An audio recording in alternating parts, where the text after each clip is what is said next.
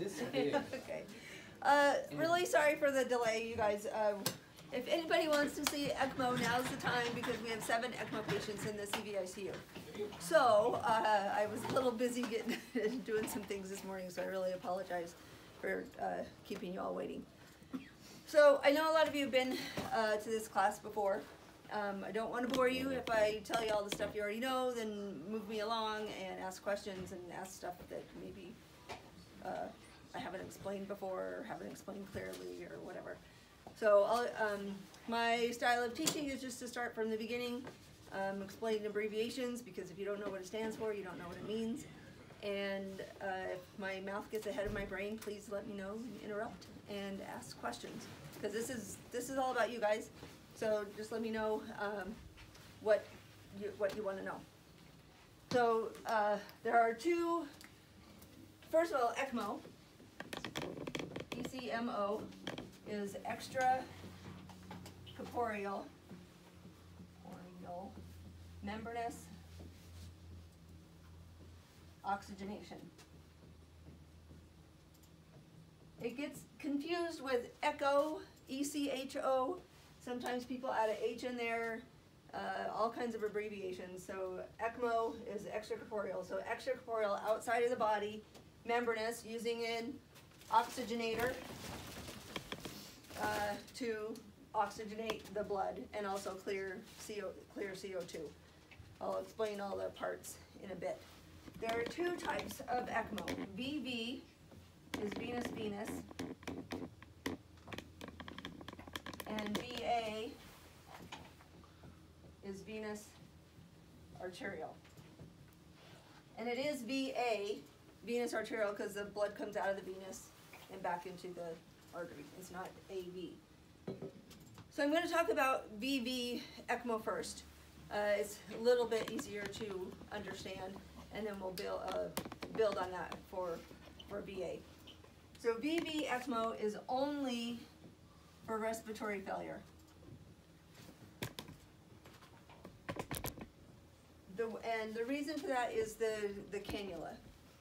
So the cannula is a two, a big double lumen cannula. This one has this stylet in it. And it can only go in the right IJ.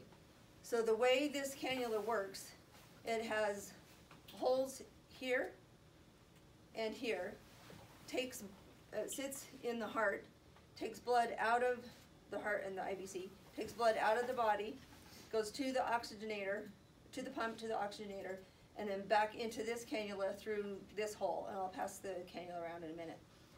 And the cannula has to sit this way with this arm forward because the way this hole sits at the tricuspid valve. So you, if you look at the heart from the right, from the side, the right side, here's SVC, here's the right atrium, and I'm a terrible artist, so hope this makes sense. Uh, here's the IVC, tricuspid valve, and the right ventricle. So this cannula goes into the IJ, into the SVC, and it sits in the body like this. So the blood from this hole is in the IVC, blood out of this hole comes from the SVC, comes out of the body into the circuit, and then jets back in here to the tricuspid valve. So you have to have a functioning right ventricle.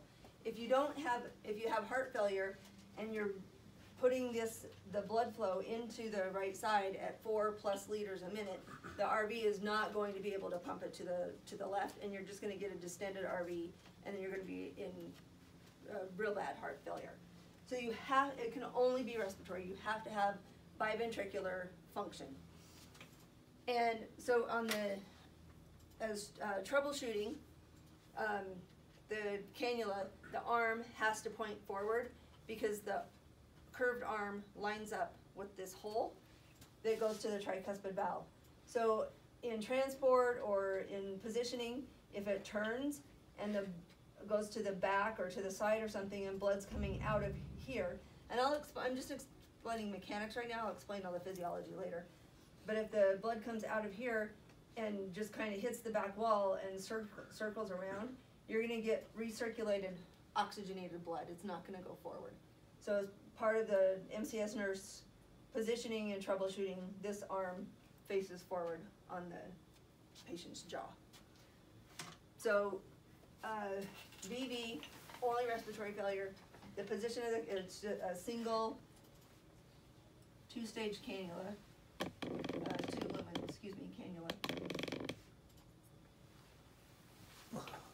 Um, still cannot be, uh, you can't be acidotic, so we shoot for a pH of seven four. And a CO two, and again, I'll explain all this later, uh, CO two is, uh, normal is thirty-five to forty-five, and on respiratory, we usually shoot for forty to start with. Later on, we'll let it go up a little bit higher. Uh, when we put, if you ever go to a place and, uh, you're there when we put ECMO in, and I think somebody went to LDS with me one time when we put ECMO in a patient. But as their blood is coming out of the cannula, when we're first starting ECMO, the patients get hypovolemic and they can arrest.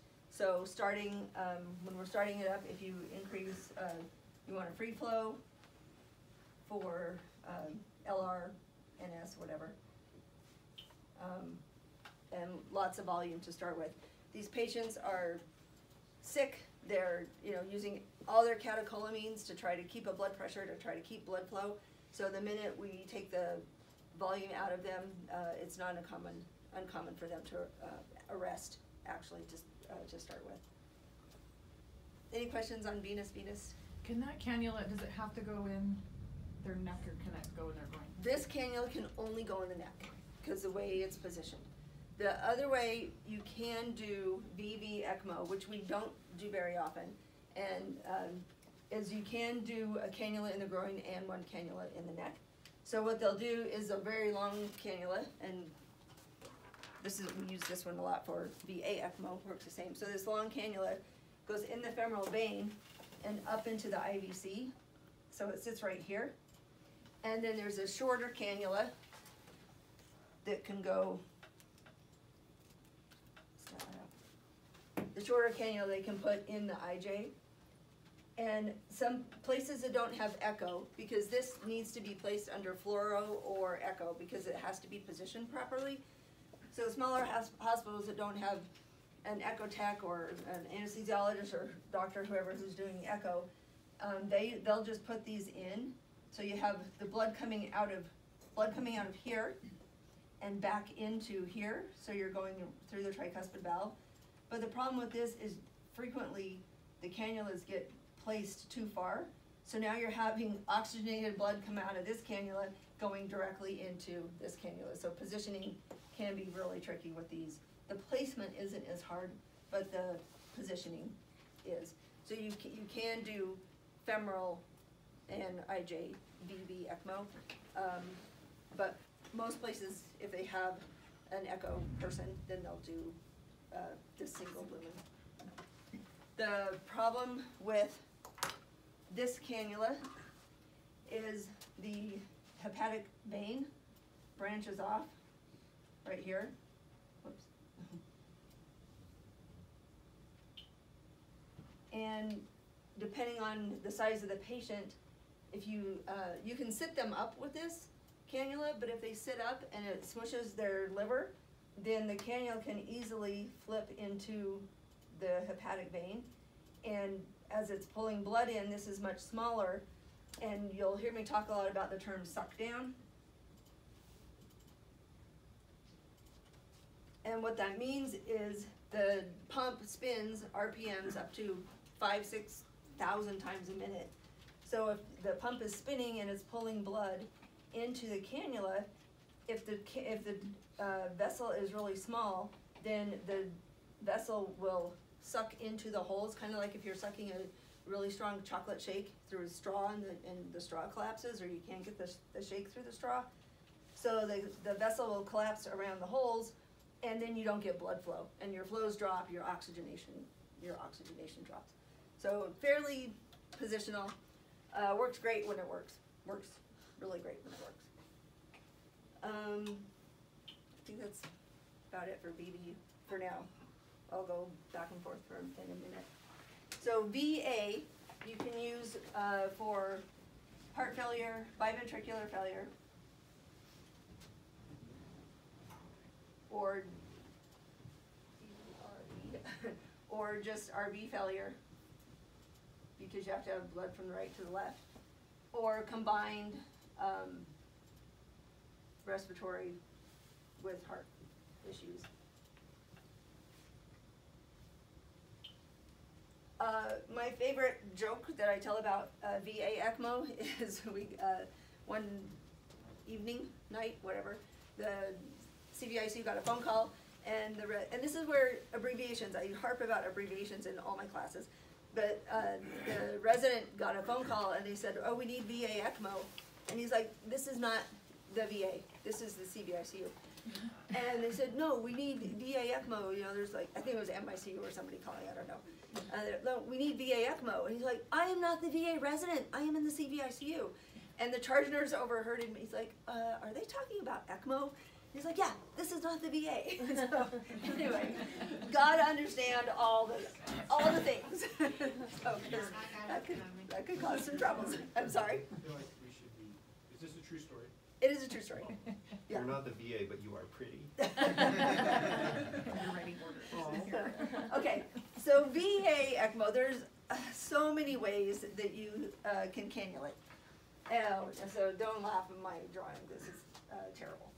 Uh, this is your heart, here's your aorta, uh, SVC, IVC, um, IVC branches, clear down here, uh, to the femoral, femoral veins, and then head vessels coming off, totally not anatomically correct. So I'm gonna start easy. Um, somebody who's had who's had surgery, they're in surgery, heart surgery, they can't come off the heart lung machine. Their lungs are bad, their heart's bad, both are bad, whatever. So in surgery, the cannulas we use are this one, these two cannulas. So to go on bypass, it's just kind of like ECMO. You need blood coming out of the body and blood going back into the body. So the surgeons will put this cannula into the uh, right atrium, similar to uh, this situation, except it'll actually go in. They'll put a, poke a hole in the right atrium, put the cannula into the atrium, and it'll sit in the heart. I'll grab that in a sec. It'll sit in the heart like this, taking blood from the IVC, blood from the SVC, out of the body. So this cannula is already in the uh, right side of the heart. And then this cannula goes into the aorta right here. So arterial blood returning into this cannula. And the aortic valve sits right here. The coronary ostia come off and perfuse the coronary arteries. Again, not anatomically correct. So the venous cannula sits here, and it's non-oxygenated, and it goes to the bypass. The arterial cannula sits here. It's oxygenated, oh, that's a two, and it's from the bypass.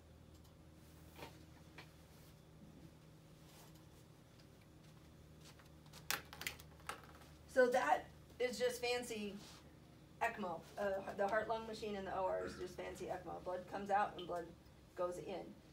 The reason, so as the blood comes in to the arterial cannula, I should have done red, but the blood comes into the arterial cannula and it goes to the body because the way the aortic valve functions, it's three leaflets, and the leaflets are curved.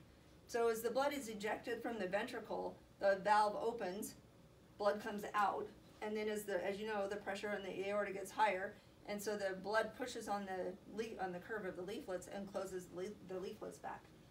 So if the heart is failing and can't strongly contract and eject, it's not going to push blood out of the aortic valve, and the blood coming in from the cannula is going to be stronger pressure than the blood coming out.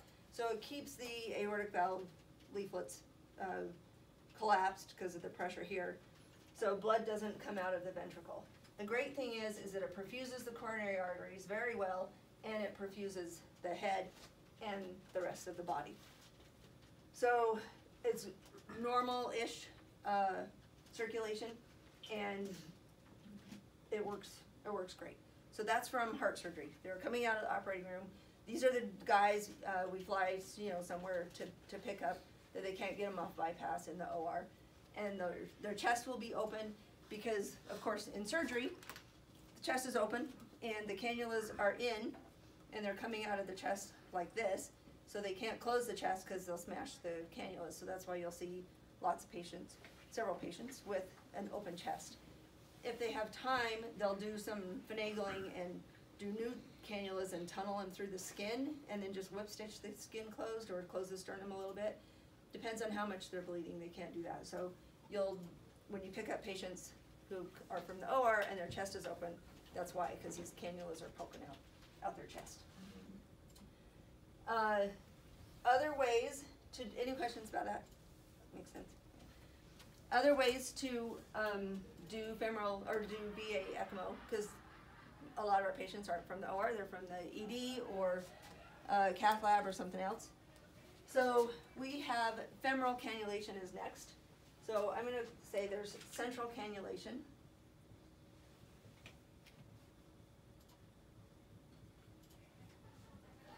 And that's from like the OR. And then femoral cannulation is the next easiest.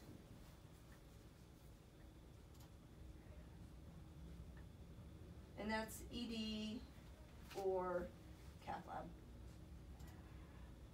Or if you're in France, off the street. so the cannulas we use for that, somehow we have to get blood out of the body. So there's these long cannulas. This one is a size 28. It's the biggest one we have, and that's diameter. The smallest one is a 20. And it's based on body size and flow. So this cannula has a long stylet in it. This one's a, this one's a 22. So you can see the, the difference. They're about the same length, but the diameter is, is much different. So the cannulas have a stylet. They put a needle in the vessel. They put a wire in the needle, pull the wire out, and then thread this over the, the wire. It can go in either either leg, uh, left femoral vein or uh, right femoral vein. And it goes all the way up to the right atrial SVC junction, sits like that. And then they'll pull the stylet out. So these holes sit all the way up like this. And then, so it sits right here. Then you have to have arterial blood going back in. So there's this cannula. It looks very similar to the one we use when with central cannulation, but it's longer and it's smaller. Uh, maybe you don't care, but it makes it it's important. It's important to know uh, because this goes into the femoral artery, and it's usually on the opposite side of the vein, but it doesn't have to be. They like it to be on the opposite leg because if you have both cannulas in the same leg, it really causes a lot of pressure uh, distally, sorry, this one's up, this one's down.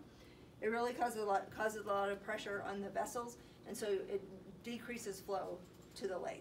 So they like to do one on one side, um, one on the other. This cannula is, uh, the way it works, goes into the femoral artery, and I should have made a bifurcation.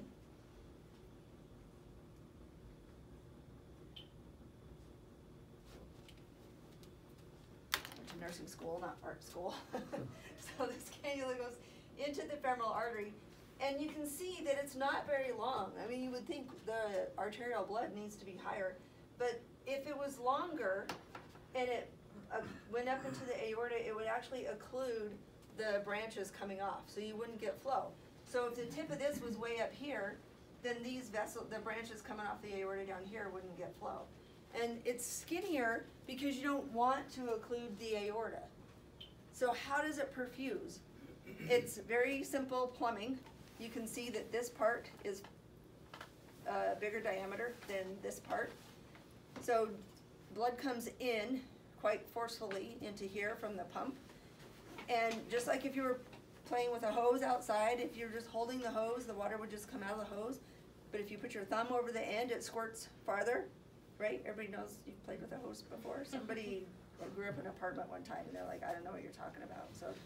Anyway, so, anyway, it increases the, as it goes from a larger lumen to a smaller lumen, it increases the pressure.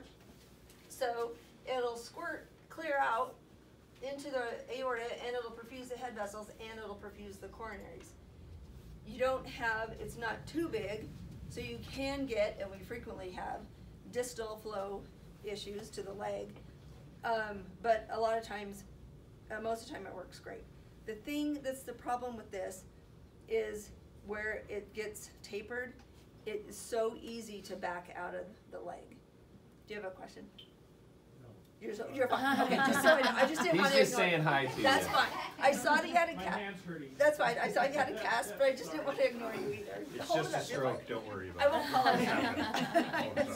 I do have a question. We're not concerned. Yeah. It looks like a half melted candle, we'll just Yeah, take him out. When you have a question, use your other arm. So, anyway, uh, the b- problem with this is that it can back out. You have, you know, RPMs are forceful, the flow is forceful, it can be four or five liters a minute. And if it's not secured, and even if it is secured, we have had this cannula back out quite a bit. And so the holes are very distal, but you just need one little hole out of the artery and pretty soon you're gonna see a huge, uh, hematoma.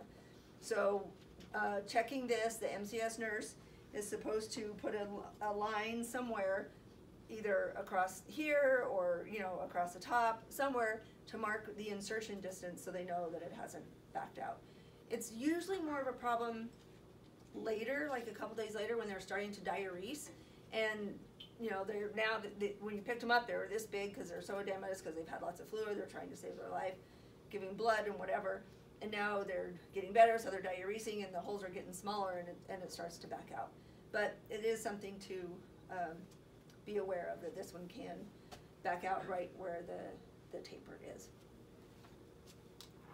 Uh, we have fancy securement devices for these. So, those are the two main ways we cannulate. But sometimes it's, you can't access that way. The femoral, uh, you can't access the femoral artery, the vein is bad, whatever. So, just so there's, just so to, uh, confuse you, we could also do, uh, axillary, femoral, so you, uh, so you do axillary artery and femoral vein. Um, the same cannulas, you'd have the long femoral can, uh, venous cannula, but then they would put the, uh, arterial cannula in the axillary artery.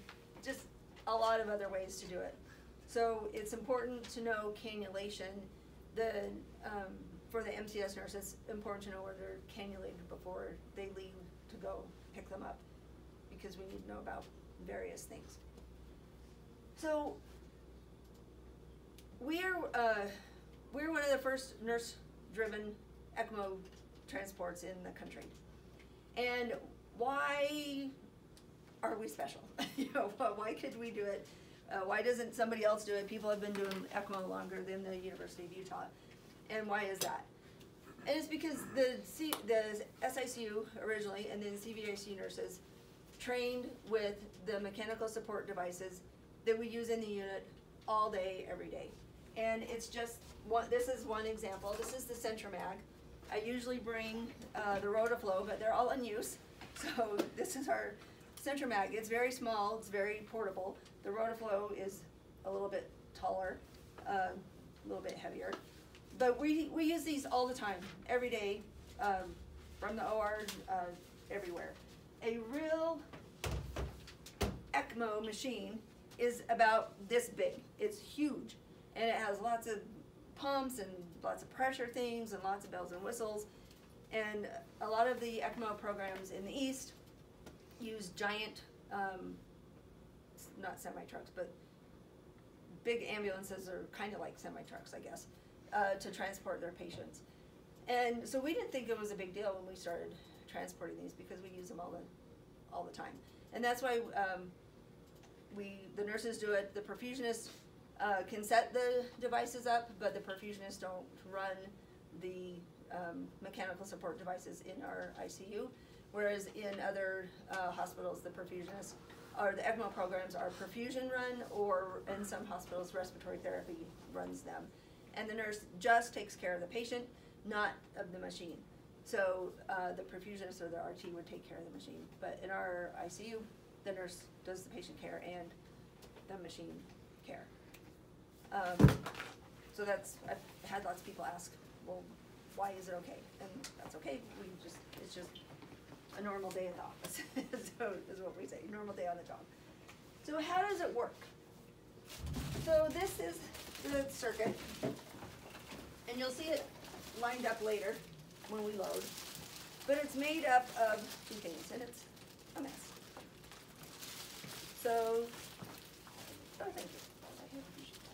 This is what I do normally. Help the wizards. Is there a spider in that little thing there? Is that? So, this is just the priming bag. This part is not here when it's connected to the patient. But you have, uh, this piece, this is the venous. I'll just lay it down here in a second. Would you mind moving over just a little bit? Thank you. So sorry, thanks. No. So you have this piece that's, you can see the blue under here. So this is connected to the venous cannula. So blood comes out of the patient, comes through the blue tubing into the pump.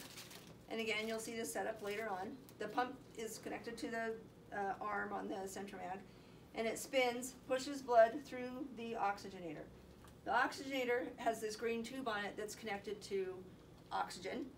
And it, no matter, well, the, we call the oxygen sweep. So the flow of the oxygen coming into the oxygenator is set by liters per minute and we base it off of their CO2. So the sweep, no matter what it's on, if it's two liters a minute or ten liters a minute, the FiO2 is always hundred percent because it's straight oxygen coming in. The main way, the way the oxygenator works is the part, the pressure differential of the oxygen coming in the tubing. In here are hundreds, thousands, billions, I don't know, these little teeny tiny tubules.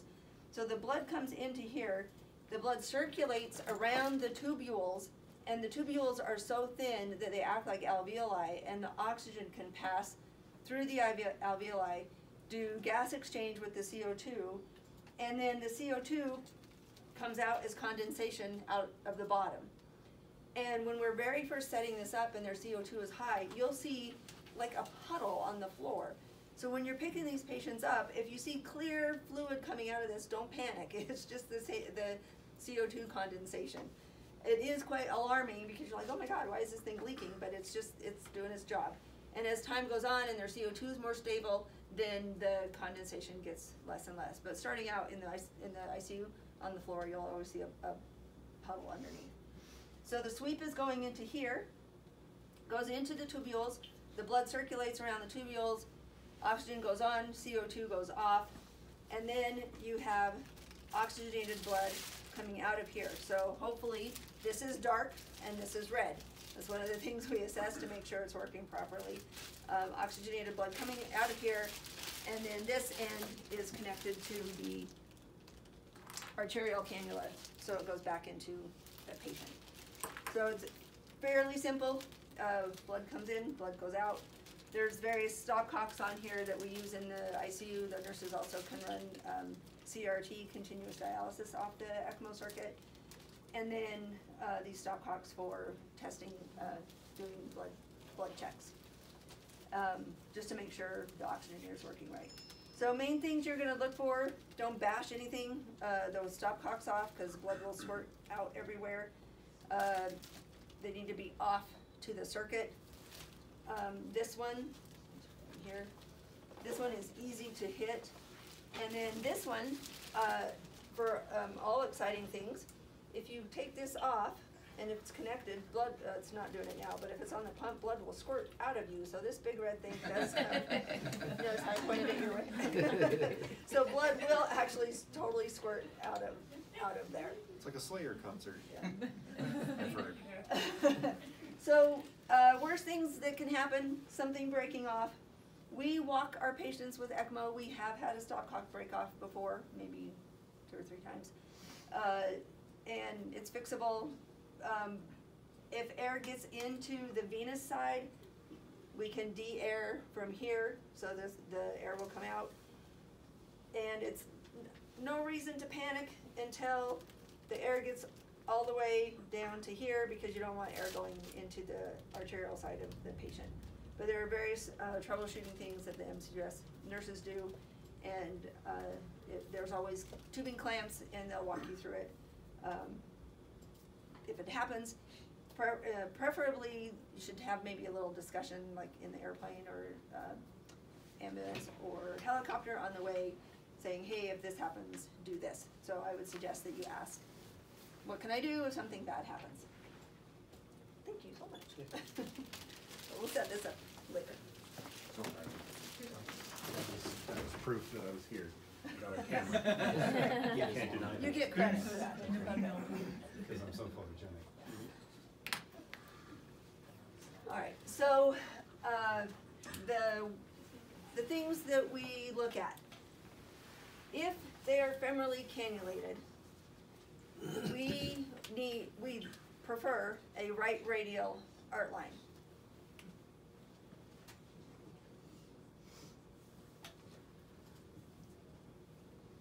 And the reason for that is if the arterial blood is coming into the femoral artery and it has to go all the way around here, this branch, head vessel, comes to the right arm. Really good artist. So this, if you had a radial art line, this is the farthest away from where the blood is coming in.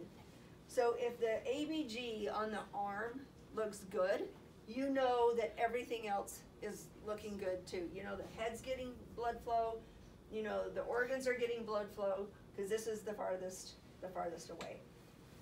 Uh, you, we cannot have femoral, in femoral cannulation, we cannot have a femoral art line, because if the femoral cannula was here, and the art line was here, then you would be getting perfectly beautiful blood from the ECMO circuit going right into the art line. So you would think that everything looks great when actually up here you're not getting enough flow and the lactate's going up, or you're not getting enough flow and your head vessels aren't getting any, any perfusion, or the coronaries aren't getting perfusion, perfused.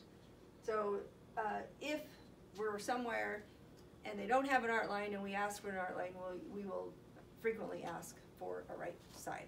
If anybody's in the ED, when we do ED ECMO, we always ask for the right side because of femoral cannulation. Uh, So the things we look at on the gas.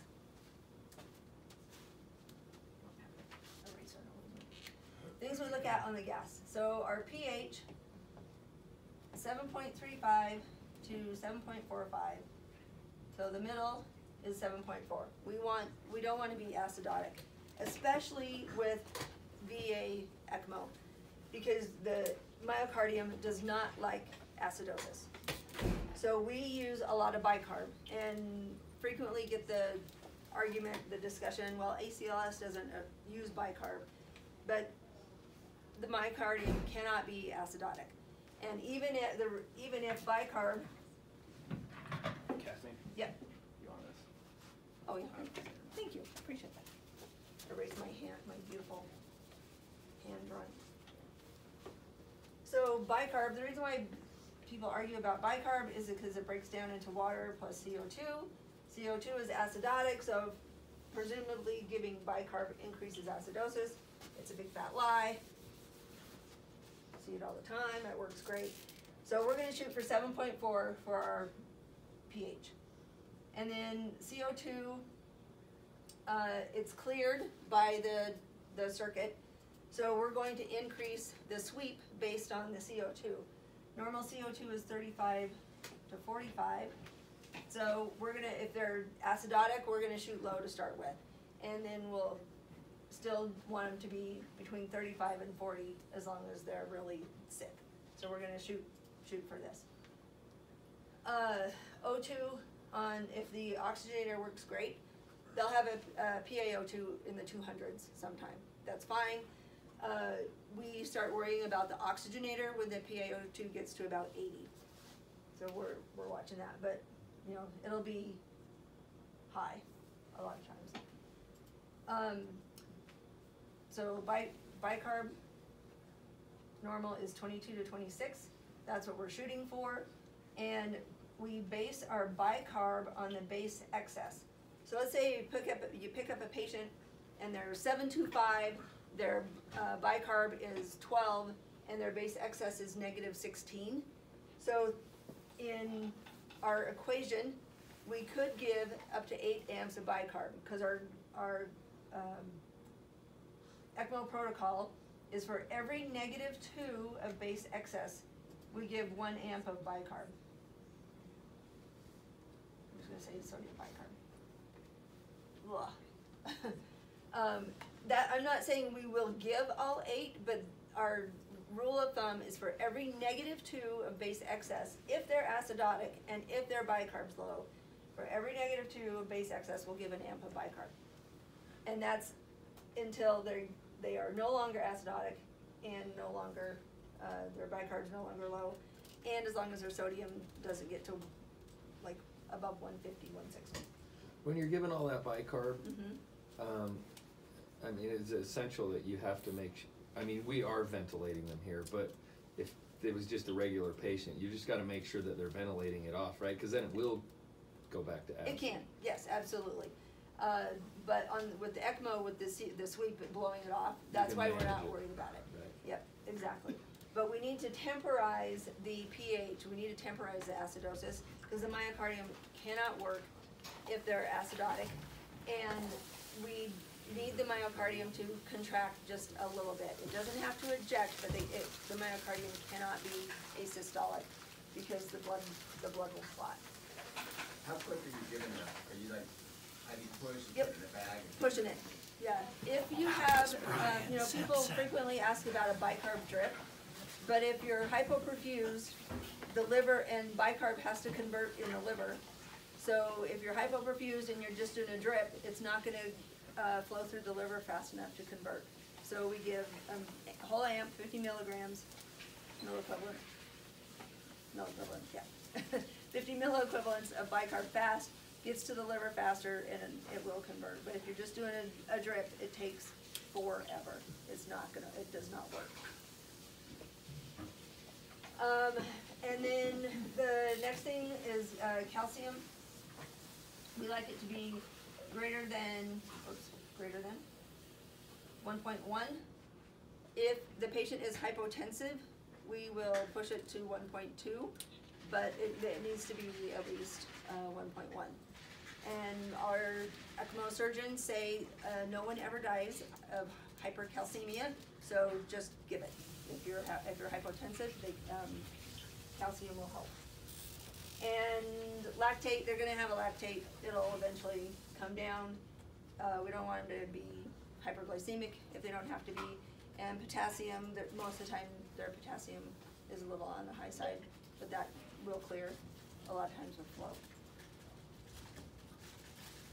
Forget anything? So that's the gas, uh, what, we're- what we're looking at on the, on the gas. So, as far as vital signs, and your art line and your swan and everything. So when I go pick up patients, if they have a swan,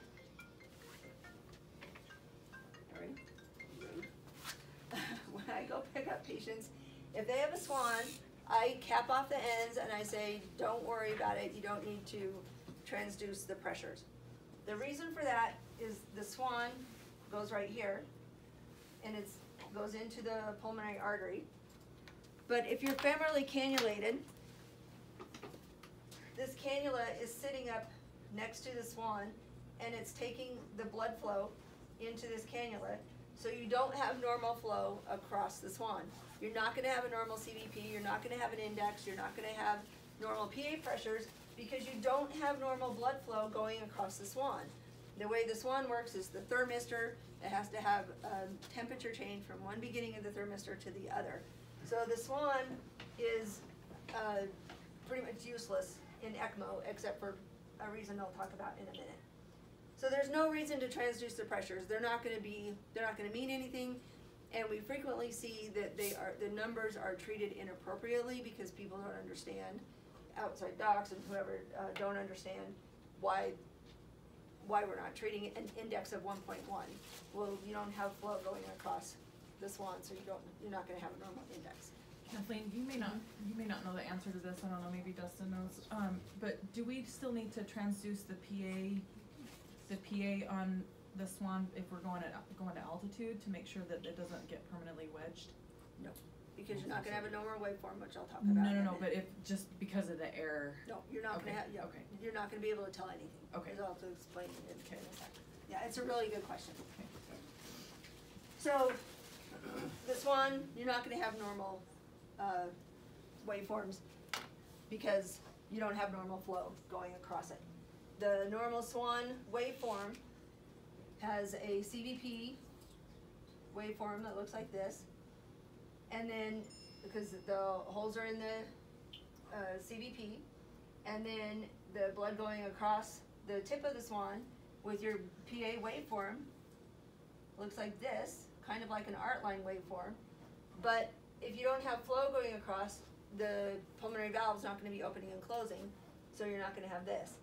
What you'll have is something that looks like this. So you're gonna think it's permanently wedged, but it's not.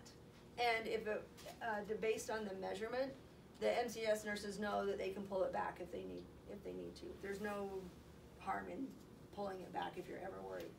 But this is what your CVP waveform is, is going to look like. Uh, excuse me, this is what your SWAN waveform, your PA waveform will look like. So if the, the CVP hole is right here on this one, and it normally looks like this, but it's gonna look like this. So you're not, that doesn't mean anything, you're gonna have a number that says ten over nine, nine, four, five, four, whatever. And then your art line, you can have a right radial art line, and normally, everybody knows, the art line looks like this. A little dicrotic notch, there's supposed to be dicrotic notch right there. Because the dicrotic notch is the opening and closing of the aortic valve. But if you have cannulas taking blood out of the heart and putting it in the aorta, there's not enough blood coming out of the ventricle, it's not going to open and close the aortic valve, so you're not gonna have a dicrotic notch. If the heart is contracting, you'll have a waveform that looks like this with no dicrotic notch. So you're gonna have a waveform. If the heart is barely contracting, you're gonna have an arterial waveform that looks like that. And you're gonna, you're gonna be saying, something's wrong with the art line, I don't know why I don't have a pressure, we're gonna need another art line, this isn't working, and the MCS nurse is like, no, it's fine, it's fine, it's fine. And the reason it's fine is because it's so far away that the heart's con- barely contracting and blood still has to, you know, uh, vibrate, go through the aortic valve a little bit, and somehow get into the uh, arm. But as it gets farther and farther away, it loses the vibration of the heart contracting, and so you have non-pulsatility. All of our ECMO pumps are centrifugal. They just spin. So there's no pulsatility in the pump. You just have blood flow rushing by. So you just have this. So how do we know that the heart is contracting? I said it has to contract. It doesn't have to eject, but it has to contract. It, you cannot have a systole. And the way we know that is just by looking at the swan waveform to make sure there's something like this. So it is perfectly okay to have a flat art line, but it's not okay to have a flat CVP. Because even if the heart is contracting just a tiny bit, the CVP hole is right there. Or, I always get myself in trouble when I say this, or the PA hole right there. So if the heart is barely contracting, you're going to have some sort of vibration on your waveform, sorry. I said it accidentally one time and now I just have to say it.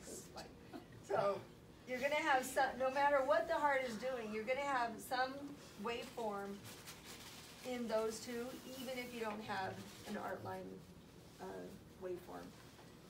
So, I don't know how many pressures you, how many pressures can you transduce on the? Three, three. Three, okay, so I would, uh, um, obviously the art line pressure, and one of, one of those, just so you can see, if the art line is flat, then you should transduce, if the art line is flat, then you should transduce the, either the CVP or the PA.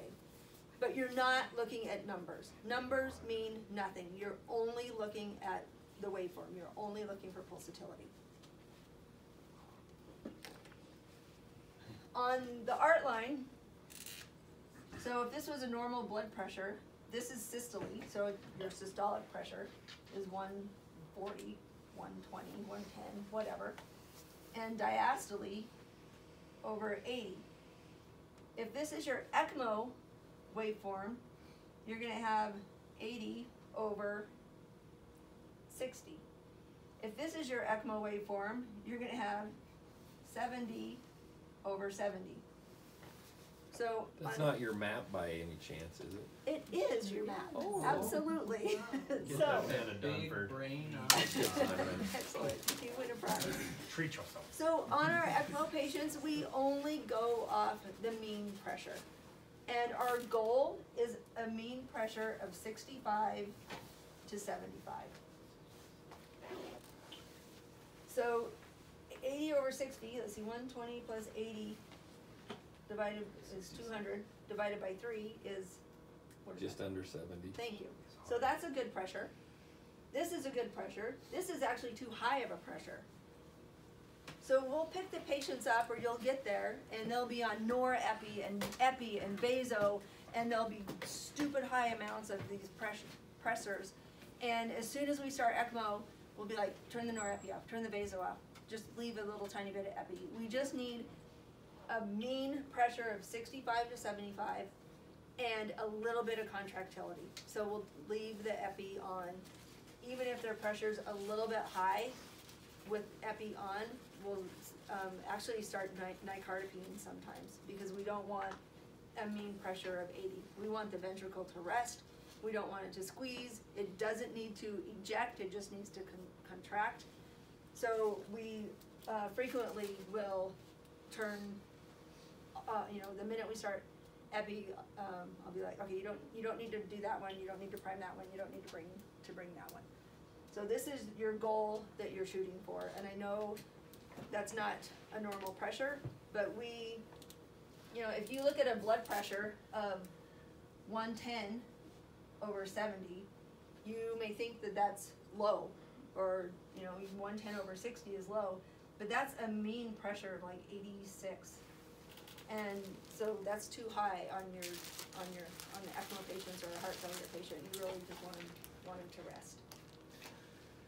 Um, is that gonna be your mean CVP on the top, so that can give you an idea of fluid status? No, not really, Okay. because if the, if the cannula is sitting right next to the CVP, um, measuring Blood port, changing. then you're not gonna have blood flow going near there. Or if it's stuck up against, if the, if the swan is stuck up against the side of the cannula, it's gonna look like it's high. So we don't look at numbers on the, uh, swans when we have ECMO patients, we truly only look at the waveforms. We don't, we don't treat the numbers, we don't do anything with the swan numbers, we don't connect it to the CCO machine, we don't look at index, we don't look at anything. The only thing we're looking at as far as flows is the ECMO machine and the R, the RPMs and the flow. And the flow is cardiac output. So because it's centrifugal, we'll have, let's say, um, RPMs of 50, 35, 60, let's say. And the flow is 3.5 liters per minute. But your patient, so this is RPMs. But your patient is um, 100 kilos and 180 centimeters. Is that enough flow for your patient? This is equivalent to, to what? Liters per minute is what? You need to call Cardiac- in one of cardiac the output. CVICU nurses to answer this question. Yeah. Liter, so liters per minute, it's an easy question, I'm not, I'm making it sound hard, it's just your cardiac output.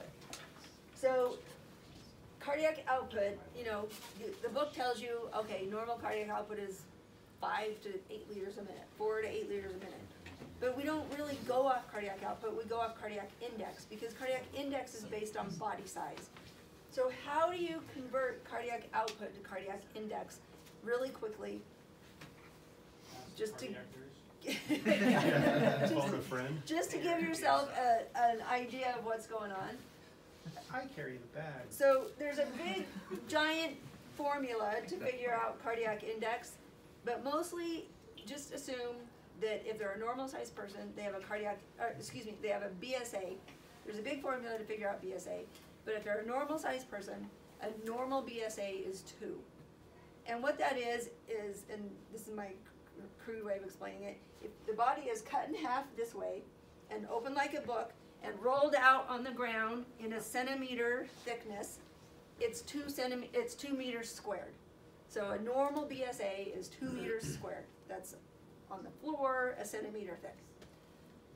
So the formula doesn't really cut you in half, but whatever. Uh, so just assume if they're normal size, their BSA is two. If they're big, their BSA could be 2.2, 2.4. If they're little, their BSA is 1.8. So two is a good number to go off of. So if this dude's BSA is two, and you're gonna divide the cardiac output by BSA to equal cardiac index. So if his output is 3.5 and you divide by two, what's the index? 1.7. Normal cardiac index should be greater than 2.2.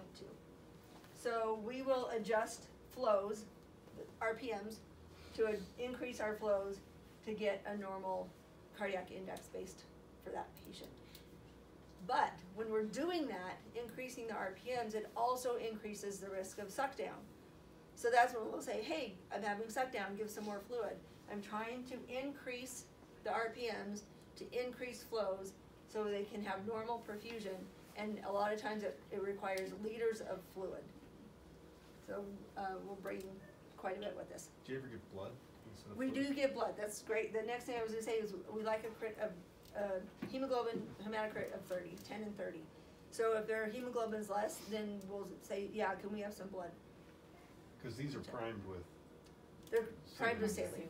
yeah. so mm -hmm. their, their crit could drop, right? It can, guess, after, after this is connected to the patient. So this right here is a liter of Normosol. And once it's, the tubing is cut and it's, the oxygenator is primed, it's about three to five hundred that the patient gets. It's not a ton. It looks like a ton, but it's not, it's not that much. So it's only primed with a, a liter to start, to start with. But the fact that they vasodilate, once we take their, the pressure off their heart and the body and working so hard to keep themselves alive, they, uh, they lose their catecholamine response, they vasodilate, so then they need more fluid anyway, and you can, um, decrease their hemoglobin just with dilution from volume. So we will give blood for hemoglobin, hematocrit and thirty.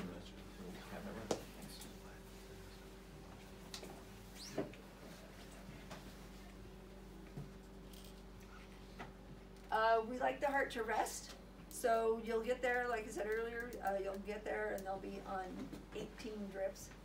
And you think, oh, I don't have enough pumps. And, but most of, most of those will not be running once the ECMO's going, or once they're not acidotic, tons of times, we've picked up patients, and, you know, we go there because the folks aren't, uh, all the way familiar with running the ECMO. So they'll not treat the acidosis, they'll, uh, cause, cause acidosis with too much, uh, like, um, vasopressors. So once, uh, it's reduced, um, acidosis is reduced, then the drips work a lot better and half of them come off. Also, we don't paralyze our patients when they're on ECMO, and we want, a- we want a neuro exam as soon as possible after the arrest or event or surgery or whatever. So if I, if I'm on a flight, um, and the patient's paralyzed, I'll keep them paralyzed until we leave the unit, but I, I will tell you not to bring a paralytic. Uh, most of the time, their livers are bad because of low flow state, so it takes a while for the paralytic to wear off. And we wanna see a neuro exam. Uh, I have not yet had anyone flop about in the cabin because the paralytics have turned off. Uh, hopefully that, I don't jinx myself, but they don't, they don't need to be paralyzed, they do need to be sedated, um, at least to start. And make sure they're resting, but, uh, we don't paralyze them. We don't do, uh, inotropes, they don't need to be on dobutamine, they don't need to, need to be on dopamine, the heart needs to rest, we don't want to make it, uh, work harder. What questions do you have, what have I forgotten? So we had an admin review of one, uh, the last one, oh no, it was a couple ones ago, um, and about sedation. Mm-hmm, And uh, our nurse asked the seniors about what, what we use, and they said straight up propofol, so they did not get any pain control during the flight. Isn't it propofol and fentanyl across the board? so it can be, if it's femoral cannulation, it's not that painful. Uh, and they can just be sedated, we don't necessarily infuse fentanyl all the time on the patients. Have you ever But- been femorally cannulated? No, I- I didn't think so. I have not, Well, But- but, but but our the policy thing- is if any intubated patient gets pain control. Yeah, so- and that's, and that's great, it Yeah. does not, it doesn't hurt, but, and, but the other thing is, is propofol is a vasodilator, it will drop their pressure. So if you're having pressure issues, then increase the fentanyl and turn the propofol off, or at least down, because enough narcotic is a sedative. So, uh, I always lean towards less propofol and more of something else. Um, you can also push, uh, fentanyl if, if they need it. Uh, I think on one flight, we were short on pumps or short on access or something, and so I think maybe I turned off the fentanyl and was doing pushes, or turned off the propofol and pushed Versed, one, one or the other, I don't remember. So you, you know, there, there are lots of options, but the patient should be comfortable. Uh, I picked up a patient from, um, another hospital in the valley, and they had an open chest from the operating room, and they'd been in the ICU for at least thirty-six hours, and they were, uh, on a Versed drip, they were paralyzed, and they were getting one milligram of morphine every four hours. Oh, So that is terrible, that is, to me, that was malpractice, so, Do you guys Uh, use ketamine? not initially, no, we don't do ketamine, not, uh, later on, yes. but It not- actually not- puts not some additional strain on the heart, doesn't It it? can, Is that way? yeah. Okay. Yep. But, uh, yeah, you can, they should not be, um, have PTSD after the flight because they remembered everything, that's not good. If you had been to the CQI I was invited to speak at, you would know you don't put them on a ketamine drip. That's something that I try to avoid. No one likes to one up What other questions? What, yeah, what flights have you been on? What questions do you have? Tell me. Is the things. initial cannulation arrest uh, transient, or do you commonplace work these arrests for quite some time to try to resuscitate them? What does that look like? What should Um, we be ready yeah, for if so- we're there assisting cannulation? So, let's say it's VV. Um, the, they'll hang on, they'll hang on, they'll hang on until, when we try to get, so the, the cannula has to go over a wire. So they put a neck in the IJ, a needle in the IJ, a wire through the needle, pull the needle out, and they're trying to get the wire down into the IVC so they can put the cannula through. The wire sometimes can coil in the right atrium and it'll cause V-tach. So it looks like they're arresting, but they're really not. Uh, so chest compressions on these guys sometimes not the best thing. They just need to pull the wire out. But what um, the biggest problem with VV is hypovolemia arrest, and that's after we start the ECMO. So I always try to have a free flow going when we start. Plus, they're usually, uh, because they're respiratory issues, they're usually dry anyway, cause you don't give lung patients a lot of volume. So, the biggest thing on these guys is hypovo- hypovolemic arrest, or both with manipulation of the wire and the cannula. So it is transient? It- That it one can be corrected. transient, yep, You're not Yep. doing full rounds of ACLS No. on these patients No. when you're talking about that initial Yeah. cannulation arrest? yep, on VA, or, excuse me, VV. However, on ED ECMO, so someone comes in with a STEMI, they arrest, or in the ICU, there's a, you know, cardiology patient, heart failure, working them up for a VAD or something and they arrest. We've done CPR, ACLS for well over an hour, hour forty-five minutes trying to get cannulas in. And so those can go for a long time. We have good success with them and, and it just depends on acidosis, how fa- how fast you get to them, what their, what their, uh, perfusion is in the meantime. Mechanical CPR devices versus just hands CPR devices? Depends, depends. The, the Lucas, uh, sometimes gets in the way. Um, it bounces the patient a lot and it's really hard to try to accurately put a needle in the femoral artery or the femoral vein when the Lucas is bouncing the patient around. Sometimes in that case, um, hand is better than the mechanical device. And auto pulse with the bands? Um, I don't know, I've actually not seen that one. She says it's better. It has like a big, big white band on it. Yeah, like USA, several you If wanted it's hands, something. it's better. Well, cause Yeah, I sometimes don't you're, know. I sometimes you're seen that needing echo and that Yeah. stuff can get in the way too, Yeah. the echo, with the echo. Yeah, you have to have echo with, um, the, it's preferable to have echo with the Yeah. cannulation. Okay. Yeah. So the VV ECMO, a VV ECMO arrest is strictly just CPR until they catch up with their preload, basically? Yeah. Yep. And then, of course, there's a whole other situation thrown in when they've already had heart surgery and they've had a sternotomy.